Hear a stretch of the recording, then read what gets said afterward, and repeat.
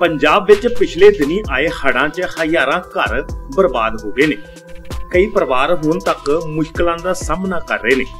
ਅਦਾਰਾ ਖਬਰ ਹਰਪਲ ਇੰਡੀਆ ਵੱਲੋਂ ਹੜ੍ਹ ਪੀੜਤ ਇਲਾਕਿਆਂ ਦੀ ਕਵਰੇਜ ਸੰਜੀਦਗੀ ਨਾਲ ਦਿਖਾਈ ਗਈ ਸੀ ਤੇ ਸਾਡੇ ਸੀਨੀਅਰ ਪੱਤਰਕਾਰ ਭਗਤ ਸਿੰਘ ਸੰਧੂ ਵੱਲੋਂ ਆਪਣੀ ਜਾਨ ਜੋਖਮ ਵਿੱਚ ਪਾ ਕੇ ਨਾ ਸਿਰਫ ਕਵਰੇਜ ਕੀਤੀ ਗਈ, ਸਗੋਂ ਹੜ੍ਹ ਪੀੜਤਾਂ ਨੂੰ ਬਚਾਉਣ ਵਿੱਚ ਵੀ ਹਰ ਸੰਭਵ ਮਦਦ ਕੀਤੀ ਗਈ। ਇੱਥੋਂ ਤੱਕ ਕਿ ਖੁਦ ਕਹੀ ਫੜ ਕੇ ਟੁੱਟੇ ਹੋਏ ਬੰਨ ਬੰਨਣ ਵਿੱਚ ਵੀ ਲੋਕਾਂ ਦੀ ਸਹਾਇਤਾ ਕੀਤੀ ਗਈ।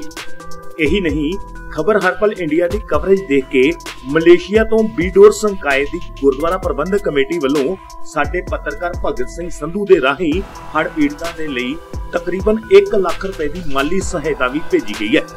ਜਿਸ ਨੂੰ ਸਾਡੇ ਪੱਤਰਕਾਰ ਵੱਲੋਂ ਸੰਪਰਦਾਇ ਸੰਤ ਬਾਬਾ ਸੁਖਾ ਸਿੰਘ ਜੀ ਸਰਹਾਲੀ ਵਾਲਿਆਂ ਦੀ ਸਹਾਇਤਾ ਨਾਲ ਪੀੜਤ ਲੋਕਾਂ ਤੱਕ ਪਹੁੰਚਾਇਆ ਗਿਆ ਇਸ ਮੌਕੇ ਹੜ੍ਹ ਪੀੜਤਾਂ ਨੂੰ ਤਰਪਾਲਾਂ ਅਤੇ ਬੂਟ ਵੀ ਵੰਡੇ ਗਏ ਹਨ। ਅਸੀਂ ਪਹੁੰਚੇ ਹਾਂ ਪਿੰਡ ਦਾਰੇਵਾਲ ਦੇ ਬੰਨ ਦੇ ਉੱਪਰ, ਜਿਹੜਾ ਕਿ ਗਿੱਦੜਵਿੰਡੀ ਤੋਂ ਜਿਹੜਾ ਨਵਾਂ ਪੁਲ ਬਣਿਆ, ਉਹ ਤੋਂ ਕੁਝ ਦੂਰੀ ਤੇ ਇਹ ਬੰਨ ਹੈ। ਤੁਸੀਂ ਦੇਖ ਸਕਦੇ ਜੇ ਕਰੀਬਨ ਇਹ ਬੰਨ ਦੀ ਜਿਹੜੀ ਲੰਬਾਈ ਸੀ 1 ਕਿਲੋਮੀਟਰ ਤੋਂ ਲੈ ਕੇ 1.5 ਕਿਲੋਮੀਟਰ ਤੱਕ ਆ, ਜਿਹੜੇ ਅੱਜ ਇਹ ਮੁਕੰਮਲ ਹੋ ਚੁੱਕੀ ਆ। ਇਸ ਤੋਂ ਪਹਿਲਾਂ ਜਿਹੜਾ ਹੈਗਾ ਸੀ ਗਿੱਦੜਵਿੰਡੀ ਦੇ ਪੁਲ ਦੇ ਦੂਸਰੀ ਸਾਈਡ ਜਿਹੜਾ ਬੰਨ ਉਹ ਕੰਪਲੀਟ ਕੀਤਾ ਗਿਆ। ਹੁਣ ਇਸ ਤੋਂ ਅੱਗੇ ਜਿਹੜਾ ਹੈ ਇਹ ਬੰਨ ਜਿਹੜਾ ਦਾਰੇਵਾਲ ਦਾ 1 ਕਿਲੋਮੀਟਰ ਵਾਲਾ ਅੱਜ ਕੰਪਲੀਟ ਹੋ ਚੁੱਕਾ। ਬਾਬਾ ਜੀ ਦਾ ਇੱਥੇ ਇੱਕ ਆਪਾਂ ਕਹਿ ਸਕਦੇ ਹਾਂ ਕਿ ਜਿਸ ਤਰ੍ਹਾਂ ਫਤਿਹ ਜੀ ਦਾ ਗੇੜਾ ਵਾ, ਇਸ ਤੋਂ ਅੱਗੇ ਜਿਹੜਾ ਵਾ ਅਲੀਆਲ ਪ- ਪਿੰਡ ਦਾ ਜਿਹੜਾ ਬੰਨ ਟੁੱਟਾ ਹੋਇਆ ਵਾ, ਉਹ ਬੰਨਣ ਵਾਸਤੇ ਬਾਬਾ ਜੀ ਵੱਲੋਂ ਜਿਹੜੀ ਸੰਗਤ ਦੀ ਤਿਆਰੀ ਕੀਤੀ ਜਾ ਰਹੀ ਆ। ਇਸ ਮਸਲੇ ਤੇ ਆਓ, ਆਪਾਂ ਬਾਬਾ ਜੀ ਨਾਲ ਗੱਲ ਕਰਦੇ ਹਾਂ ਕਿ ਬਾਬਾ ਜੀ ਦਾ ਕੀ ਕਹਿਣਾ ਵਾ ਇਸ ਮਸਲੇ ਦੇ ਉੱਪਰ। ਬਾਬਾ ਜੀ, ਵਾਹਿਗੁਰੂ ਜੀ ਕਾ ਖਾਲਸਾ, ਵਾਹਿਗੁਰੂ ਜੀ ਕੀ ਫਤਿਹ। ਬਾਬਾ ਜੀ, ਅੱਜ ਇਹ ਬੰਨ ਜਿਹੜਾ ਦਾਰੇਵਾਲ ਵਾਲਾ ਕੰਪਲੀਟ ਹੋ ਚੁੱਕਾ ਵਾ। ਇਸ ਤੋਂ ਅੱਗੇ ਜਿਹੜਾ ਆਪਾਂ ਅੱਗੇ ਵੀ ਜ਼ਿਕਰ ਕਰ ਚੁੱਕੇ ਸਾਂ ਪਹਿਲੀ ਖਬਰ ਦੇ ਵਿੱਚ ਕਿ ਜਿਹੜਾ ਆਲੀ ਆਲ ਵਾਲਾ ਬੰਨ 200 ਤੋਂ 300 ਫੁੱਟ ਪਾੜ ਪਈ ਆ। ਉਸ ਬੰਨ ਦੀ ਕਿਸ ਤਰ੍ਹਾਂ ਹੁਣ ਤਿਆਰੀ ਕੀਤੀ ਜਾ ਰਹੀ ਹੈ ਕਿ ਕੀ ਉਸ ਦੇ ਬਾਬਾ ਜੀ ਬਾਰੇ ਚੱਲ ਰਿਹਾ ਹੈ? ਖਬਰ ਹਰਪਲ ਦਾ ਜਿਹੜਾ ਬਹੁਤ ਧੰਨਵਾਦ ਕਰਦਾ।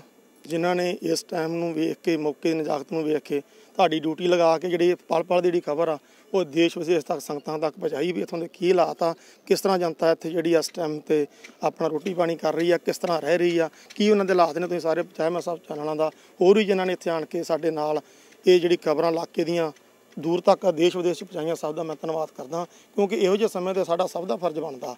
ਜਿਸੇ ਕੋਲ ਜਿਹਦਾ ਵੀ ਸਾਧਨ ਹੈਗਾ, ਉਹ ਲਾ- ਆਉਣ ਨਾਲ ਲੈ ਕੇ ਹਰ ਇੱਕ ਪ- ਪੱਖ ਦੀ ਮਦਦ ਕਰੇ। ਇਹ ਵੀ ਇੱਕ ਮਦਦ ਹੈ ਜਨਤਾ ਦੀ, ਜਿਹੜੀ ਕਿ ਜਨਤਾ ਦੂਰ ਤੱਕ ਜਿਹੜੀ ਗੱਲ ਜਿਹੜੀ ਅਸੀਂ ਪਹੁੰਚਾ ਰਹੇ ਹਾਂ, ਪ੍ਰਸ਼ਾਸਨ ਦੇ ਕੰਨ ਖੋਲ ਰਹੇ ਹਾਂ ਵੀ ਜਿਨ੍ਹਾਂ ਦਾ ਪ੍ਰਸ਼ਾਸਨ ਦਾ ਕੰਮ ਬਣਦਾ, ਕਿਉਂਕਿ ਲੋਕਾਂ ਨੇ ਵੋਟਾਂ ਪਾ ਕੇ ਇਹ ਸਾਡੇ ਨੁਮਾਇੰਦਗੇ ਅੱਗੇ ਕੀਤੇ ਹੁੰਦੇ ਉਹਨਾਂ ਦਾ ਫਰਜ਼ ਬਣਦਾ ਵੀ ਜਦੋਂ ਇਹ ਜਿਹੀ ਔਖੀ ਘੜੀ ਆਉਂਦੀ, ਅਸੀਂ ਜਨਤਾ ਦੀ ਸਾਰ ਲਈਏ। ਉਹ ਤੁਹਾਡੇ ਸਾਹਮਣੇ ਸਭ ਦੇ ਮੈਂ ਕਿਸ ਦਾ ਨਾਮ ਕੀ ਲੈਣਾ।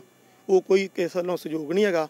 ਉਹ ਸਤਿਗੁਰਾਂ ਦੀ ਬਖਸ਼ਿਸ਼, ਸਦਕਾ, ਸੰਪਰਦਾਇ ਵੱਲੋਂ ਸ- ਸੰਗਤਾਂ ਦੇ ਸਹਿਯੋਗ ਨਾਲ ਜਿਹੜੀਆਂ ਸੇਵਾਵਾਂ ਨਿਰੰਤਰ ਚੱਲ ਰਹੀਆਂ, ਜਦੋਂ ਤੱਕ ਸੰਗਤਾਂ ਅੱਗੇ ਚੱਲਦੀਆਂ ਰਹਿਣਗੀਆਂ। ਇਹ ਸਨ ਸੀ ਸੰਤ ਬਾਬਾ ਸੁਖਾ ਸਿੰਘ ਜੀ ਕਾਰ ਸੇਵਾ ਸਰਿਆਲੀ ਸਾਹਿਬ ਵਾਲੇ ਜਿਨ੍ਹਾਂ ਨੇ ਅੱਜ ਇਹ ਪੁਲ ਕੰਪਲੀਟ ਹੋਣ ਤੇ ਫਤਿਹ ਦਾ ਮੋਰਚਾ ਲਾਇਆ। ਤੁਸੀਂ ਦੇਖ ਸਕਦੇ ਜੇ ਇਹ ਕਰੀਬਨ 1 ਕਿਲੋਮੀਟਰ ਤੱਕ ਬੰਨ ਜਿਹੜਾ ਮੁਕੰਮਲ ਹੋ ਚੁੱਕਾ ਵਾ। ਅਸੀਂ ਬਹੁਤ ਬਾਬਾ ਜੀ ਨੇ ਕਿਹਾ ਕਿ ਧੰਨਵਾਦੀ ਹਾਂ ਖਬਰ ਹਰਪਲ ਚੈਨਲ ਦੇ ਜਿਨ੍ਹਾਂ ਨੇ ਪਲ ਪਲ ਦੀ ਖਬਰ ਜਿਹੜੀ ਲੋਕਾਂ ਤੱਕ ਪਹੁੰਚਾਈ। ਮੈਂ ਖਬਰ ਹਰਪਲ ਤੋਂ ਭਗਤ ਸਿੰਘ ਸੰਧੂ ਚੋਲਾ ਸਾਹਿਬ। ਦੱਸ ਦਈਏ ਕਿ ਸਾਡੇ ਪੱਤਰਕਾਰ ਭਗਤ ਸਿੰਘ ਸੰਧੂ ਵੱਲੋਂ ਲਗਾਤਾਰ 10 ਦਿਨ ਪੀੜਤਾਂ ਦੀ ਹਰ ਸੰਭਵ ਮਦਦ ਕਰਨ ਦੀ ਕੋਸ਼ਿਸ਼ ਕੀਤੀ ਗਈ ਸੀ।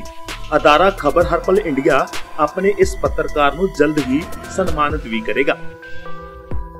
ਬਿਊਰੋ ਰਿਪੋਰਟ, ਖਬਰ ਹਰਪਲ ਇੰਡੀਆ ਲਈ।